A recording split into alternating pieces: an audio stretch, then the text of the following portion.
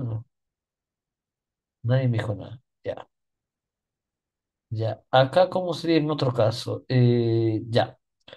¿Qué pasa si escribo límite cuando n tiene más infinito de uno más menos lambda sobre n a la n? Esto lo escribí al principio de la clase. Esto sería nada menos que e a la menos lambda, ¿no? Porque era uno más uno eh, 1 más x sobre n a la n, ese era e a la x. Ya. Con todo lo que te acabo de comentar, ahora debes recordar cómo es la probabilidad de la variable aleatoria. La probabilidad de la aleatoria x igual acá, a que es igual. Según la fórmula es... eh, ¿dónde está la formulita? Sería la serie, ¿no? Ya, esa serie. A ver, ¿cómo puedo escribir esa serie de una forma más simpática? A ver, a ver, a ver. ¿Cómo lo puedo escribir más simpático?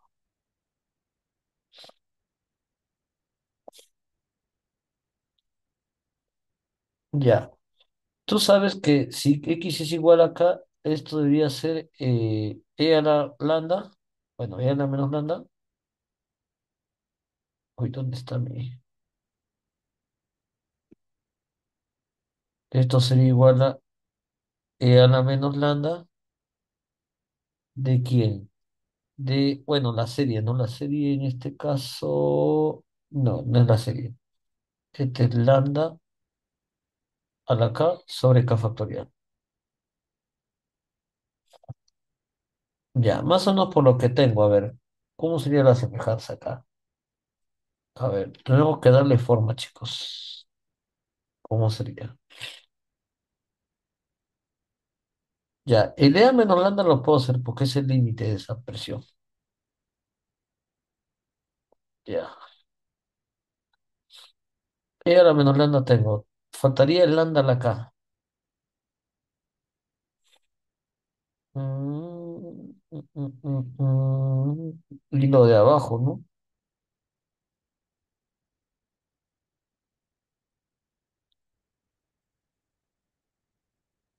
¿Cómo sería la sobre K?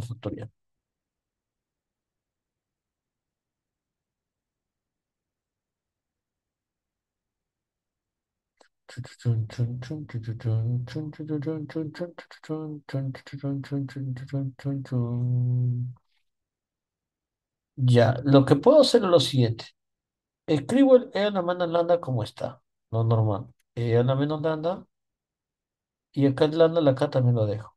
El K factorial lo voy a escribir de la forma siguiente. K factorial por N menos K factorial por N menos K factorial. ¿Qué tipo, no? Arriba y abajo. Pero esto sería por N factorial sobre N factorial. Ya. Ahora, voy a tomar convenientemente estos dos términos. Ya, ¿cómo quedaría esa parte?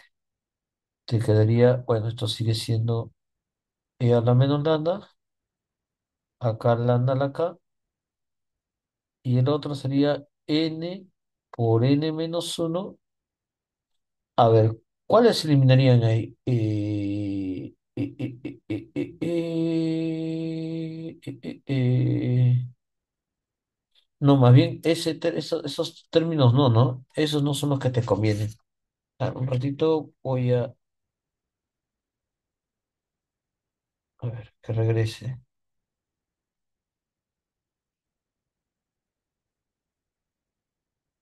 Neta. Me parece que ahora tiene que ser ellos dos, n factorial y el k factorial. Entonces, esto te quedaría igual a le a la menos lambda por lambda a la k, y lo que te quedaría ahí sería n por n menos uno por n menos 2 y acá te quedaría n menos k,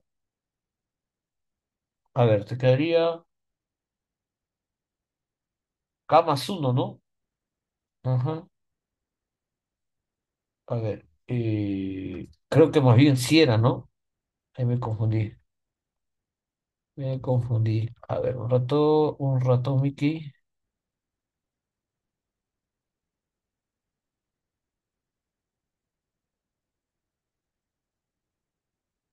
¿Y a quién sería? Quiero que aparezca n por n menos k menos uno más uno. Eso sería lo de arriba, pues, ¿no? n factorial con n menos k factorial, pues, ¿no? Y pues tendrán que ser estos dos. O sea, sería lo de acá. Ellos dos. Ya, a ver. Acomodándolo de nuevo. Esto sería e a la menos lambda por lambda a la k por n por n menos uno hasta el término n menos k más uno. Ya, tengo esto. ¿Entre quién? Tendría sobrando un n menos k factorial.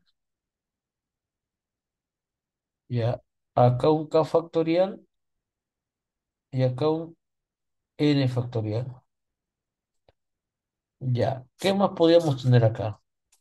Eh, ya, como aparece acá arriba n a la k, voy a multiplicarle por n a la k sobre n a la k. Acá por n a la k y por n a la k. Ya. Entonces todo esto acomodándolo sería de esta forma. A ver, ¿cómo sería? E a la menos lambda. A ver, ¿cómo lo acomodo?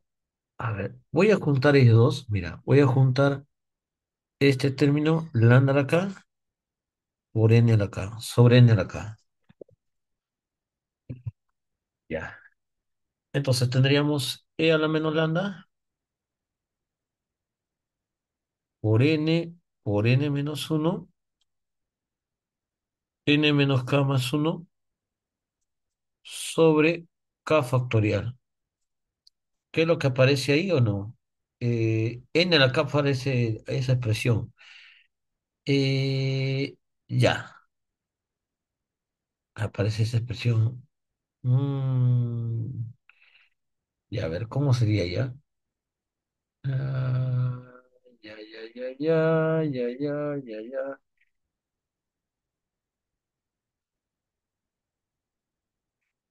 n factorial, k factorial, n a la k.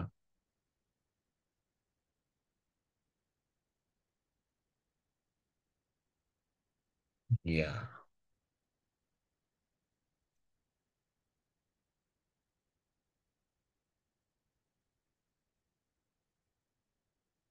Ahí es sobre n a la que converge a uno, ¿no?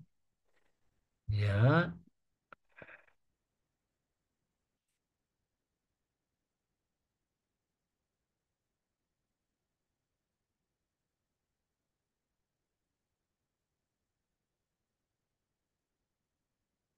ya. A ver, a ver.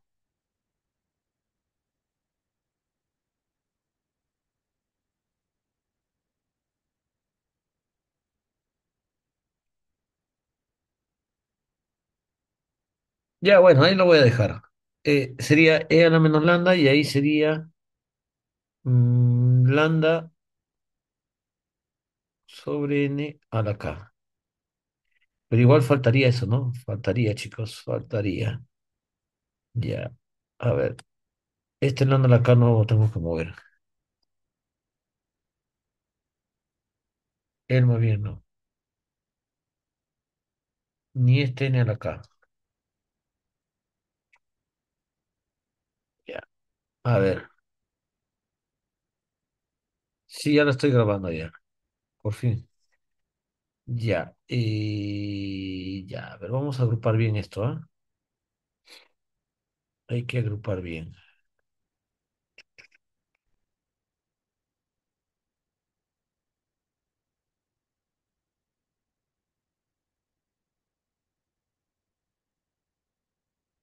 Ya. Era menos blanca.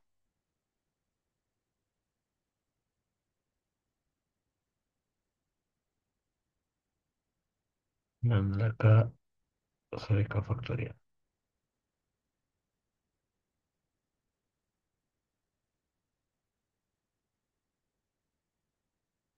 Ya. Ok. Ya, voy a considerar convenientemente estos dos agrupándolo, el acá. Ya, lo dejo ahí momentáneamente. Ya. Eh, ya, ok, está bien, está bien. Te quedaría E a la menos lambda por N por N menos uno por N menos K más uno sobre N a la K. Ya, lo que te sobraría acá es lambda la K sobre K factorial. Y ahí te quedaría N menos K por K. eh, hay un N a la K.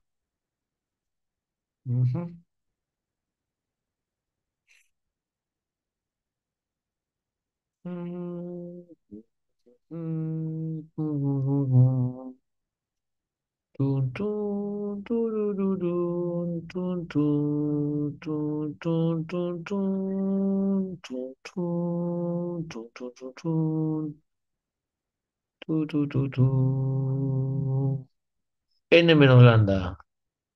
¿De- ¿Dónde hay un N menos lambda por acá? Eh, N menos K factorial.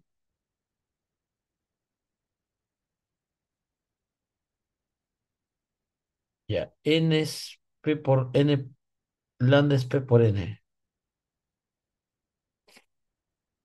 Ya. Ya, mira, lo que me faltaría aquí, o que lo que me sobra, que este es un menos menos lambda, te quedaría el n menos k factorial por n a la k sobre n factorial. Pues no, para el k factorial lo asocio con el lambda a la k y te faltaría esto. Ya, a ver, ¿cómo lo haríamos acá? n a la n, n menos lambda, lambda, lambda salió p por n. Lambda es p por n, uno menos p, p por n. A ver, ¿cómo sería eso?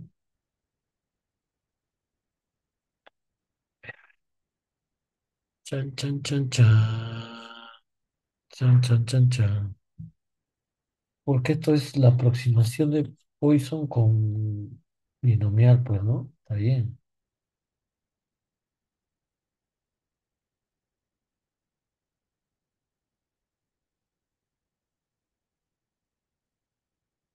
Ya. Creo que acá es al revés, ¿no? Esta es la aproximación de Poisson a la binomial. Y acá tengo Poisson, E lambda sobre K factorial. R menos lambda. Ya.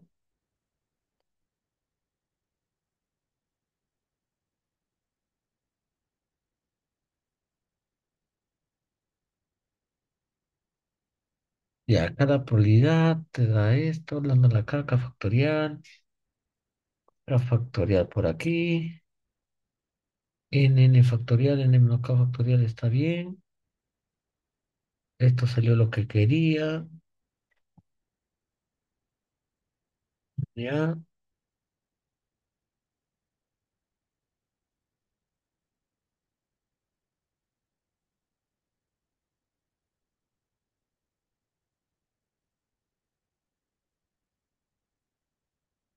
Claro, acá arriba es en acá, pues, ¿no? Ya. Sería cuestión de agruparlo de la derecha. ¿Cómo lo agrupamos?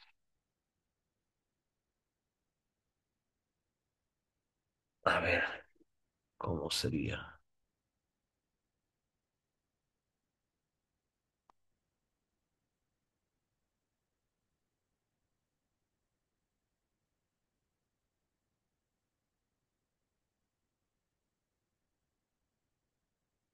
Eso sería al revés más bien, ¿no?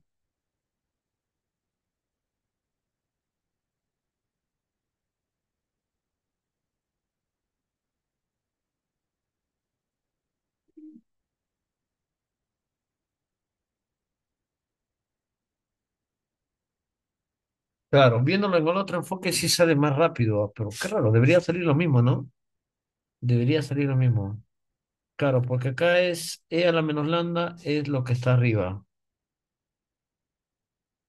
que sería uno más lambda menos uno. A ver, viéndolo en el otro enfoque, ¿cómo sería? A ver, qué raro, por acá no sale, ¿no? Otro enfoque.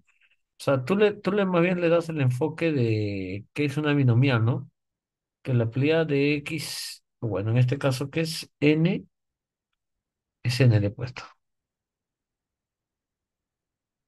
Ya que N es igual a K. Entonces, esto sería la combinación de N en K del parámetro a la K por uno menos P a la N menos K. Pero tu parámetro, el... ¿Quién sería acá? El P es lambda sobre N de aquí. El P es igual a lambda sobre N. Entonces acá tengo que P es igual a lambda sobre N. Si tú lo reemplazas, esto es N factorial sobre N menos K factorial por K factorial.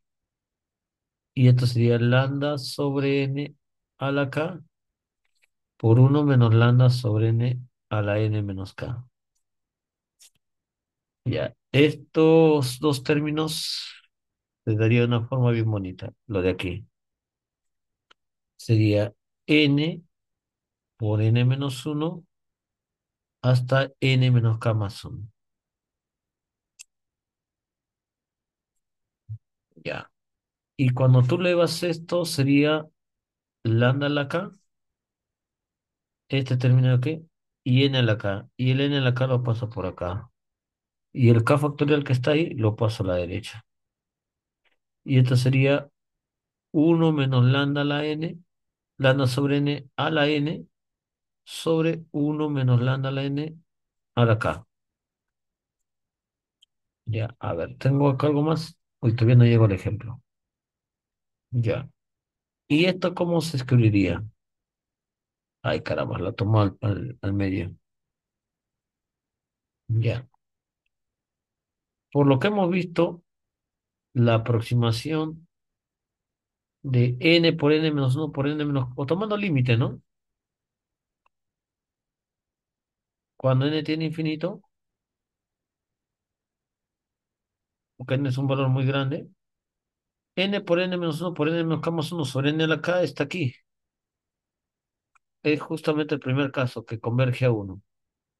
O sea, todo esto al final converge a 1, lo de aquí. Ahora, el K, lambda factorial, K factorial, ahí lo dejo porque no tiene nada que ver con N. El otro es E a la menos lambda, ¿no? Y el de abajo sería simplemente 1 a la K. Operando tengo que esto es E a la menos lambda por lambda a la K sobre K factorial. Y eso es el término de la función masa de, de esta distribución. De una binomial pasa una Poisson, ¿no? Una Poisson.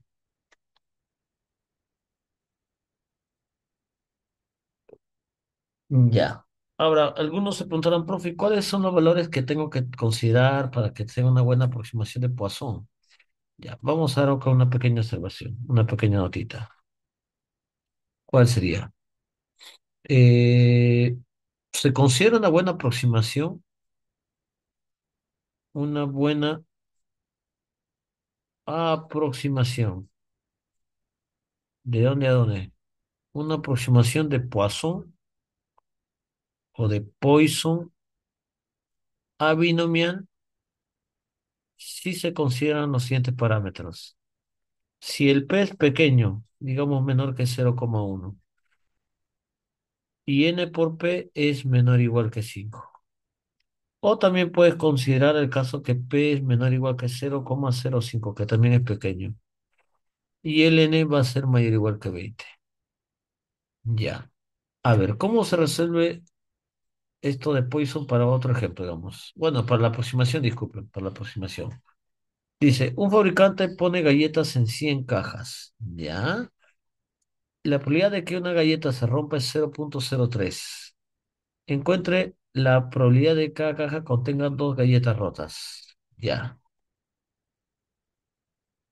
Entonces, el número de galletas es lo que analizo. Entonces, X sería el número de galletas rotas. Quiero ver cuál es el número de galle- galletas rojas. Ya, rotas, pero rotas o no rotas. Éxito, fracaso. Entonces, esta distribución va a tener una distribución binomial de cuántos casos. Acá dice 100 casos. N es igual a 100.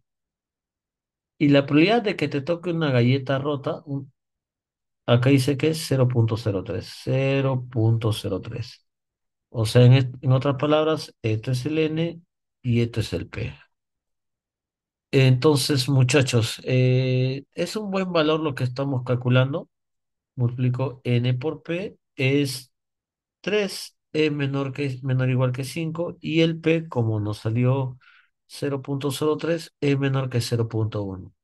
Entonces, justamente cumple esta condición que dice, ¿no?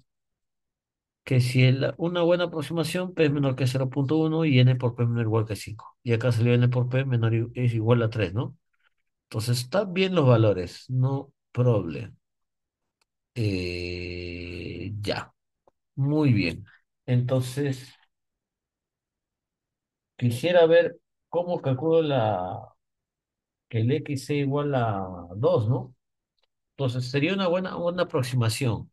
Entonces, ya no trabajo con la binomial, entonces voy a trabajar que X se aproxime a una de Poisson con el parámetro lambda. Recuerden que el lambda es n por p, que en este caso es 3. Entonces, pero yo quiero la probabilidad de que tenga dos cajas rotas, o sea, que X sea igual a 2. Por la formulita, esto es e a la menos lambda por lambda a la k sobre k factorial. Pero en este caso, como el lambda es 3, sería e a la menos 3 por 3 al cuadrado sobre 2 factorial. Y calculas ese valor y eso es lo que me pide. Ya. Muy bien, muchachos. Ahí está un ejemplito para que ustedes puedan eh, visualizar. Ya, dentro de un minuto nos van a despedir y volvemos ya, chicos, para eh, hacer unas cositas más y al menos eh, comenzar con el tema de la de esta semana, que es distribuciones normales, hay que hacer fun- función de densidad y todo ello. Bueno, distribución continua, que diga. Profe, y para el parcial, profe, ¿hasta qué punto viene? ¿Cómo, cómo? Hasta para el parcial, profesor. Hasta las, eh, bueno, según el formato sería hasta la semana 6 nada más. Seis. Sí, Ah, ya, ya, de profe. ya.